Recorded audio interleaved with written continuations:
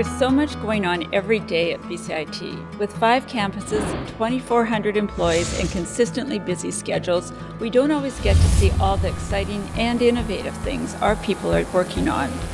In this video series, we're aiming to change that, one team member at a time. Today we're at the Annacis Island campus, BCIT's newest location. We're here to meet Bruce Thompson, a heavy mechanical trades instructor who's been with BCIT for 15 years.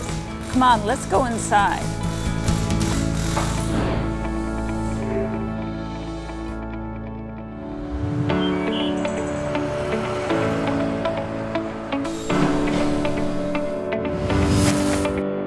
Hi everyone, well today I'm at Annacis Island campus.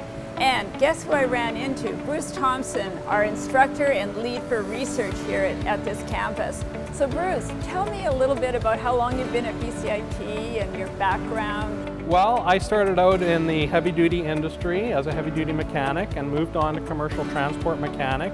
And about 15 years ago, I started with uh, BCIT as an instructor. Great. And worked my way up to chief instructor and now I am in charge of uh, trying to bring research into this campus and, and get some emission testing happening. Um, recently we've just purchased a portable emission measuring system that we can measure vehicle exhaust emissions and lab quality results and we're going to go down in a little while and uh, have a look at that and see if we can't measure some emissions on an engine. Well let's go and see what it's like. Okay, sounds good.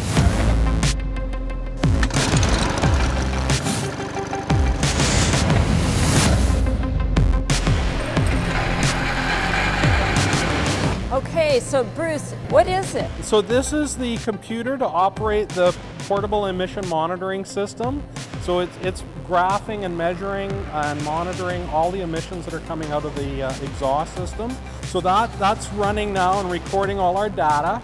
And now if we come over here, you can actually start the engine and we can begin a test. Listen Good. to that noise. There it is, up and running. Okay. And if we come back over here, we're recording all our emissions on the screen and we're recording it every half a second.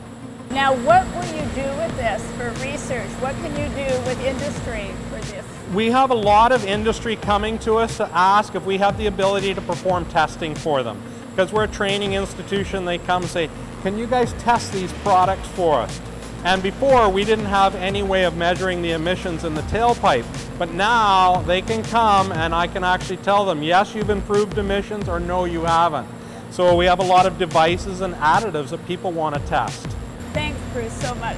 Thanks, Kathy. That's great. Did you know over 500 students come through our heavy mechanical trades programs annually? But it's not only the training that's happening out here. This is a hub for applied research as well. We're positioning BCIT to be a leader in education around sustainable transportation, and no other organization has a PEMS unit on the West Coast. Come on out for a visit and see it.